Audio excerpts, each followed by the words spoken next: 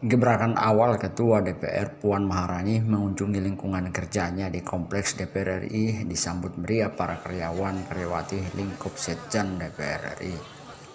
Ketua DPR Puan Maharani satu-satunya pucuk pimpinan legislatif perempuan yang pertama yang menurut banyak kalangan sebagai sebuah terobosan baru untuk memperbaiki citra lembaga legislatif itu untuk lima tahun ke depan.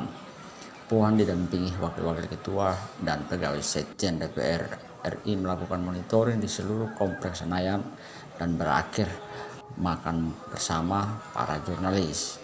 Ketua DPR Puan Marani melakukan traktir makan siang kepada awak media dan para pengunjung Puja Serah pada Selasa 8 Oktober 2019.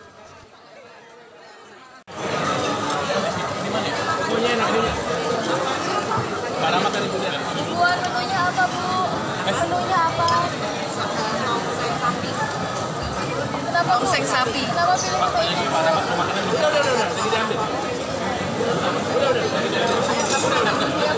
Ayo makan. Kenapa uh, sengaja